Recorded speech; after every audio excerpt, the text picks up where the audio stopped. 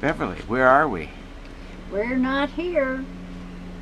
we Come on, Beverly. She's all pretty today. Oh, yes. Look who we snuck in. Yes. The Salty and the Pepper Dog. Yes. Yeah, you can't be running on the beach here because it's not legal. But we're gonna, we snuck in. All right, bye-bye.